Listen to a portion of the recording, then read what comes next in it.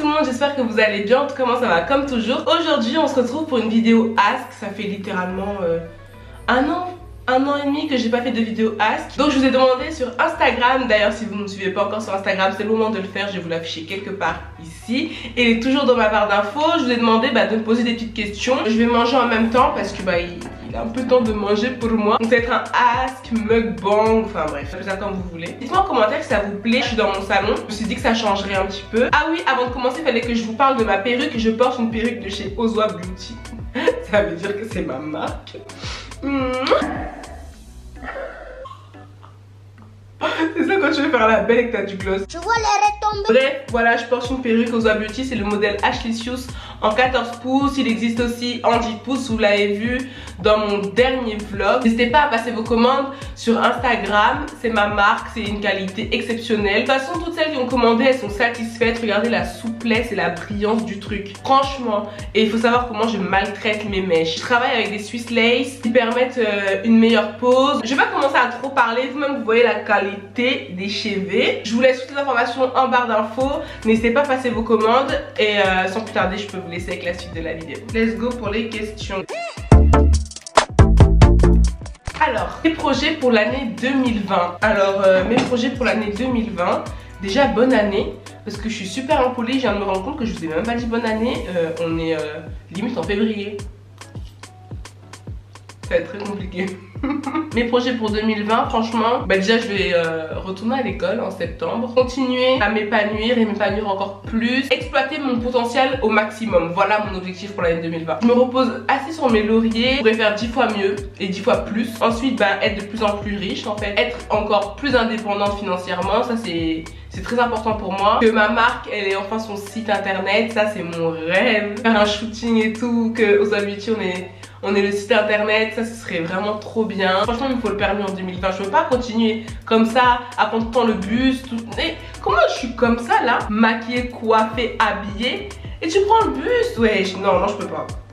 D'ailleurs, dites-moi vous, quels sont vos objectifs en 2020 C'est quoi ton body goal? Vous allez sans doute trouver ça super narcissique, mais moi, mon body goal, c'est mon corps d'il y a euh, un an, un an et demi. J'étais super bien, mais à l'époque, je me trouvais grosse.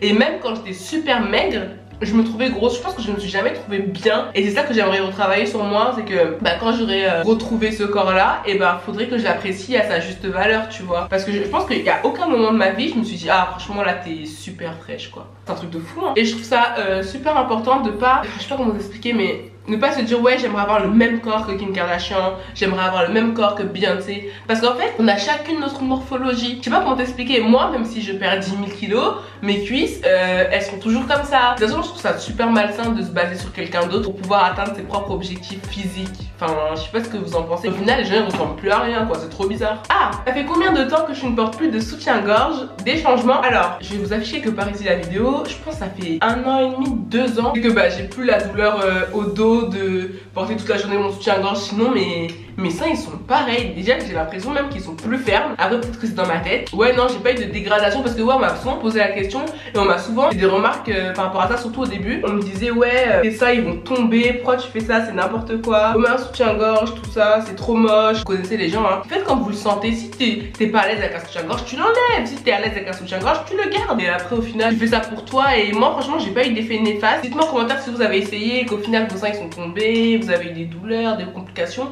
Mais franchement, moi, grâce à Dieu, j'ai eu aucun problème. Donc euh, mes seins sont euh, plus en forme que jamais. Ensuite, quel est l'endroit où tu souhaiterais vivre et t'es douce comme la patate douce? Merci. Avant, quand j'étais plus jeune, j'avais un pays, je me disais, oh, j'aimerais trop aller aux States et tout, mais euh, archi pas. C'est plus trop mon délire, voire plus du tout. Je pense que j'aimerais vivre juste dans un endroit où c'est sain, c'est un bon environnement pour mes enfants, mon mari, et où on a de la verdure autour quand même. Parce que j'aime bien la ville, mais genre pas trop. Par exemple, j'aimerais pas habiter dans le plein centre de Paris, tu vois. Mais en France, je suis pas sûre. Dites-moi en commentaire si vous, vous rêvez de déménager, de vous exiler, aller vivre en Australie, je sais pas. J'aimerais trop savoir. T'avais dit que tu nous expliquerais pourquoi je ne voulais plus faire de haul. Je t'ai jamais dit que je vous expliquerais, enfin je pense pas. En fait, je voulais plus faire de haul parce que je suis plus à l'aise avec moi-même et rien à voir avec les commentaires ou des gens qui ont pu m'insulter, me dénigrer. Franchement, c'est moi mon regard par rapport à moi-même et euh, je me reconnaissais plus parce que ouais, j'avais pris des mauvaises habitudes. C'était pas mon image en fait, tout simplement. Donc voilà pourquoi je voulais plus faire de haul, j'étais plus à l'aise avec moi-même. Mais faire un haul, c'est quand même, euh, bah tu sais, c'est montrer des vêtements, c'est les mettre en valeur en quelque sorte. Et si toi-même t'es pas sereine, tu sens pas bien, tu peux pas faire de haul. On verra normalement, je dois en refaire un bientôt. On verra comment je me sens à ce moment-là. Mais derrière, je me sens de mieux en mieux. Hein. Mais oui, effectivement, euh, il y a une période où je voulais plus du tout euh, faire de haul. Fallait que je prenne du temps pour moi. D'ailleurs, vous avez bien vu que pendant deux semaines, j'ai pas publié. Et euh, j'étais un peu absente des réseaux sociaux et tout ça bah, parce que j'avais besoin de prendre du temps pour myself. Et c'est très important. Si moi je me sens pas bien dans mon corps, mais qui va se sentir bien dans mon corps? C'est horrible ce que je viens de dire. Mais je pense que vous avez compris. Donc euh, j'ai fait le nécessaire pour me sentir mieux avec ma perruque aux Voilà. Seigneur Bref, en gros, pour vous dire que je suis très fan de ma perruque et pour vous dire que je vais super bien. Enfin, je vais de mieux en mieux. Est-ce que tu pourrais pardonner l'infidélité? Franchement, à chaque fois, je disais non, non, non, non, non. Moi, tu me fais ça, je te quitte et tout. Mais je vous jure que je pense que ça dépend des situations. Non, je peux pas pardonner. En fait, tu m'as trahi. Moi, je préfère un mec qui te quitte et après, ben voilà, il va voir ailleurs. Que un mec qui te ment pendant des semaines, des semaines, des mois, des années et te fait croire que tout va bien. Tu vois ce que je veux te dire? Donc, euh, même si on a des enfants et tout, franchement, à cette heure-ci, hein, maintenant, je te dis que non. Par exemple là, dans ma situation, moi avec Chris, on n'a pas d'enfant, on n'est pas marié, rien. Ça fait quand même 5 ans qu'on est ensemble, il me trompe, euh, ciao bye bye en fait. Enfin frère non, surtout que j'arrive à un âge, voilà j'ai bientôt 23 ans. Moi j'ai pas de temps à perdre avec ça tu vois. Si toi t'es pas prêt à être sérieux avec moi, je vois pas pourquoi on va continuer. Donc qu'est-ce que ça sera quand on sera engagé? Non non. Ouais ouais non mais non. Et je ne juge en aucun cas les personnes qui pardonnent parce que franchement l'amour ça peut te faire faire des choses. Il y a des gens qui ont pardonné 10 fois aujourd'hui, bah tout se passe bien dans leur couple tu vois. Moi je suis plutôt dans cette team là, la team qui dirait si tu te trompes c'est que t'aimes pas la go. Mais bon, il y a des cas qui ont montré qu'en fait il y a les hommes ils dissocient le mouboupin de l'amour. Bon voilà, ça euh, c'est des cas spéciaux. Comment t'as rencontré ton copain? J'ai une vidéo spéciale sur comment j'ai rencontré mon copain. ça fait trop bizarre de dire mon copain. comment j'ai rencontré Chris. Et euh, je te laisse aller voir la vidéo, ça s'appelle comment j'ai rencontré mon copain. Tout simplement. Et c'est assez spécial, donc allez voir la vidéo. Est-ce qu'avec ton homme, vous envisagez le mariage, un bébé, etc. Euh, on envisage, euh, oui, parce que bah, depuis qu'on est ensemble, toujours dit qu'on aimerait se marier, qu'on aimerait avoir des enfants ensemble. Parce que de toute façon, déjà quand je rencontre quelqu'un et que c'est sérieux entre vous, que t'aimes la personne, déjà tu te poses la question. Parce que moi, je vais pas commencer à faire des années avec toi et qu'au bout de 4 ans, je te dis, tu veux des enfants en fait? Non. Ah bon? Ah, parce que toi t'en veux? Oui. Bah, et du coup, bah, on n'a pas la même vision de la vie. Donc, non, ça c'est des trucs qu'on a établis il y a bien longtemps, tu vois, on s'est quand même euh, posé pour se poser des questions. Euh, pour essayer de voir si nos visions de la vie concordaient. Et moi je trouve que c'est super important. Pour moi c'était la base en fait de savoir bah, ce que la personne en face de toi recherche pour son futur. Mais j'ai vu qu'il y avait beaucoup de gens qui avaient jamais eu ce genre de conversation là mais qui étaient en couple. Donc moi je comprends pas. Donc oui on envisage mais euh, demain non quoi. On envisage plutôt d'abord d'être serein. C'est-à-dire lui il a fini ses études, moi aussi. On est à l'aise financièrement. On a profité tous les deux. En fait on va assurer un bon accueil à nos enfants. Mais si demain l'accident arrive, on va garder l'enfant, ça c'est sûr et certain. Mais bon, pour l'instant, c'est pas encore le moment, c'est assez tôt. Et puis moi, regardez, tout simplement, le mariage pour moi, je suis pas obligée de faire un gros truc, mais Chris il veut absolument faire un truc de star. Le mec a un gros souci.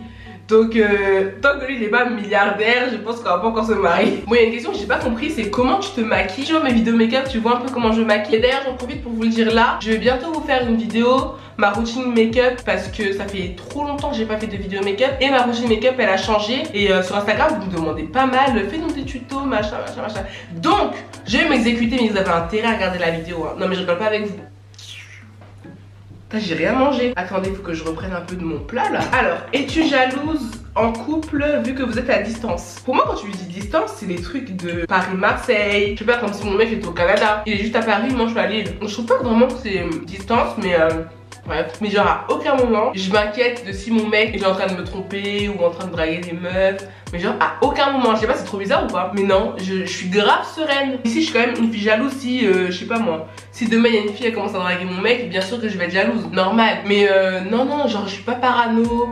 Je me dis pas, mais qu'est-ce qu'il fait, il est avec qui? Oh là, ça fait 3 heures qu'il m'a pas parlé, mais alors là, ça se trouve qu'il est en train de me tromper.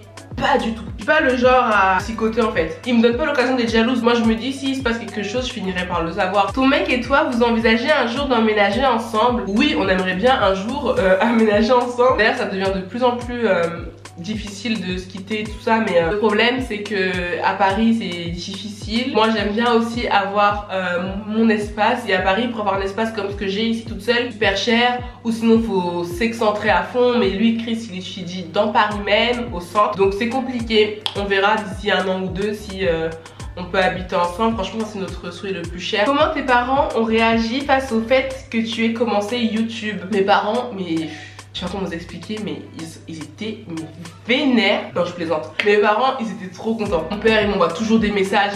Là, ça, c'est une bonne idée de vidéo. En fait, mon père, il est à fond dans tout ce qui est développement personnel, coaching. À chaque fois, il m'envoie des ouvrages, des articles. Il me dit, ouais, parle de ça, motive les gens, parle de ci, parle de ça. Donc, euh, tous les jours, il m'envoie des sujets. Ma mère, elle, c'est la pro de Facebook et de WhatsApp.